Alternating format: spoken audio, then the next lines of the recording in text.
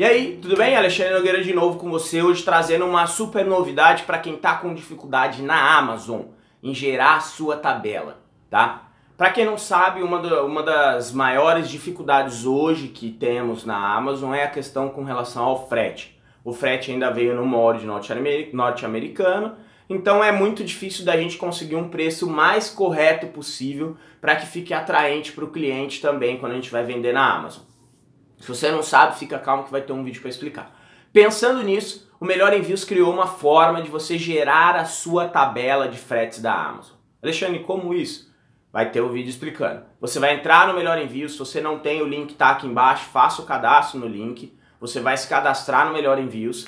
Feito o cadastro, você vai emitir uma tabela de frete da Amazon baseado no seu CEP de origem. Não entendeu ainda? Fica comigo aqui que você vai ver o vídeo do pessoal do Melhor Envios explicando como que faz isso. Eu achei sensacional, porque quem já gerou alguma tabela, quem já foi gerar algum frete para lá, sabe como é difícil você cobrir toda a nossa extensão do CEP, com faixas de peso, tudo. Então é muito complicado fazer isso, tá? Então aqui, Melhor Envios, link aqui embaixo, facilitou isso para você. Fica no vídeo para você entender como fazer. Oi galera, aqui é o Rafa da equipe Melhor Envio, tudo bom? Olha, hoje eu vou ensinar para vocês a utilizar o novo modelo de integração com a Amazon. É uma integração nova, um pouco diferente daqueles módulos que o usuário Melhor Envio já está acostumado. Isso porque nós vamos trabalhar com tabelas. A integração não é difícil de ser aplicada, mas ela exige um pouco mais de atenção do usuário porque o preenchimento é um pouco mais detalhado. Vamos lá então. Olha, agora a gente vai entrar na conta Melhor Envio com o usuário e a senha. No painel de controle, na aba Integrações, a gente clica ali depois a gente vai clicar no ícone da Amazon. Na tela seguinte, é só clicar em Gerar tabela. Aqui já dá o aviso, olha, sua tabela será gerada com quatro abas, duas para volumes de até 70 centímetros em uma das medidas e duas para volumes com medidas superiores a 70 centímetros. Duas por quê? Que é uma na forma padrão e outra na forma expressa. Depois você tem que inserir o CEP de origem das mercadorias que você vai enviar, ou seja, lá da sua loja, do seu endereço de remetente. Após isso, vai ser criada uma tabela de fretes automática com origem daquele CEP que você cadastrou. É só clicar em download que essa tela, essa tabela, no caso, será baixada para o seu computador. É uma tabela simples em Excel. A gente vai poder ver aqui nessa coluna, olha, que ela é dividida por regiões, entre capital e interior. Olha só, interior do Acre, capital do Acre, interior do Alagoas, capital do Alagoas e assim sucessivamente. Tem o preço por pedido, que é uma espécie de preço inicial de frete, uma taxa de frete, depois o preço por quilo e também um prazo de entrega estimado. Aqui, olha só, estão as divisões que eu falei antes: envio padrão para objetos de até 70 centímetros e entrega expressa. Outra aba de envios padrão e entrega expressa para objetos maiores de 70 centímetros.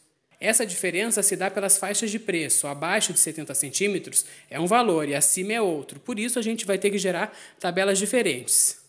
Por exemplo, se você possui uma caixinha de altura, largura e comprimento de 50 a 50 50, ela vai se enquadrar no envio padrão, porque todas as medidas dela são 50 centímetros e o envio padrão vai até 70 centímetros.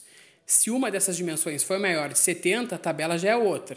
Depois do acesso a essa tabela, agora a gente vai cadastrar esses valores lá no painel da Amazon. Vamos lá então, olha, a gente entra na nossa conta, vai clicar aqui ó, em configurações, configurações de envio e criar um novo modelo de envio.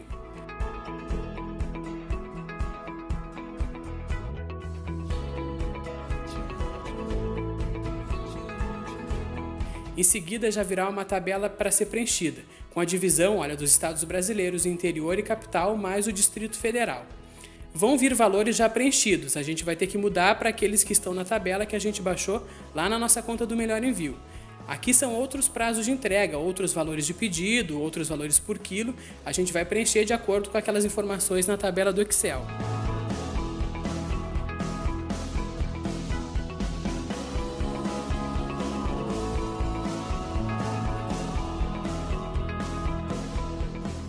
Para cadastrar uma forma expressa, é preciso incluir as regiões de entrega. Você vai ter que tirar a seleção do Brasil e adicionando uma a uma, colocando capital, salvando, colocando interior, incluindo a outra região e assim por diante. Após fazer isso, é preciso preencher a região com os valores que estão na tabela. Tome cuidado para não preencher os preços dos envios padrão. Essa parte ela requer a atenção de quem está preenchendo. Se você possui objetos para venda com medidas mais que 70 centímetros já na embalagem de envio, é preciso criar um novo modelo de envio e fazer todo o preenchimento, como no caso anterior, mas com os valores correspondentes a essas medidas. Atenção de novo. Os modelos de envio eles podem ser associados aos produtos cadastrados pelos vendedores. É só acessar a central do vendedor Amazon Marketplace, clicar aqui na opção Inventário, vai abrir um painel com todos os seus produtos listados. Clicando aqui ó, em alterar, a gente vai ver todas essas opções. Olha só. Em oferta, a gente vai poder alterar o modelo de envio. A gente vai mudar para aquele com as opções que a gente cadastrou, que é o melhor envio. Depois, em mais informações, a gente preenche o peso da mercadoria que a gente quer enviar, com ela já na caixa, embaladinha, seja 1 kg, sejam 5 kg, 10, enfim. Depois a gente vai clicar em salvar e finalizar. É possível que você faça essa alteração em todos os produtos de uma única vez. É só clicar aqui em status, daí todos os produtos serão selecionados.